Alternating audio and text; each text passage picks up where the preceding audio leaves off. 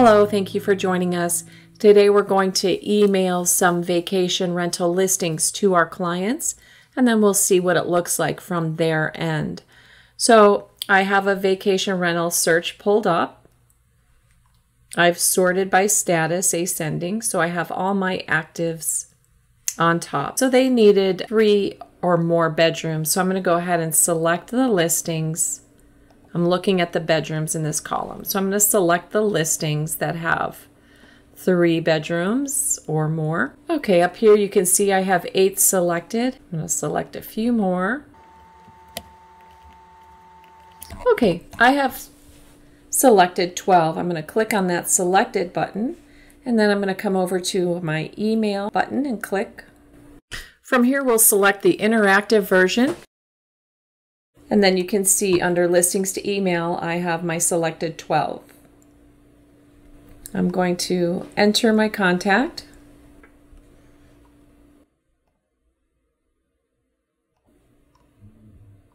I'm going to put a subject and then I'll enter a message in the body of the email that's going to my client. And now I'm going to select email at the bottom. I can return to my search results by clicking on that button. Okay, and here's what your client's going to see. I've just clicked into their email and I'm reading it from a desktop, so looking at the listing. So your client can now scroll through all 12 vacation rentals. So I've clicked on this listing and now I can click through the photos and get a better idea of what this listing has to offer. Also, if I scroll down, here's the availability calendar.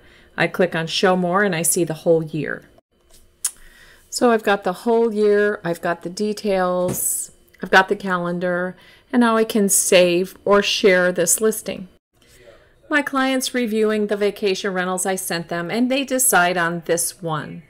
So I can go ahead and click this contact agent button.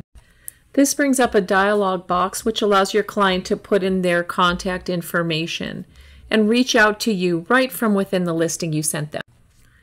Once that client hits the contact agent button, all the messages and correspondence is going to go through my messages within FlexMLS. To find my messages, go to Menu and under Daily Functions, click on My Messages.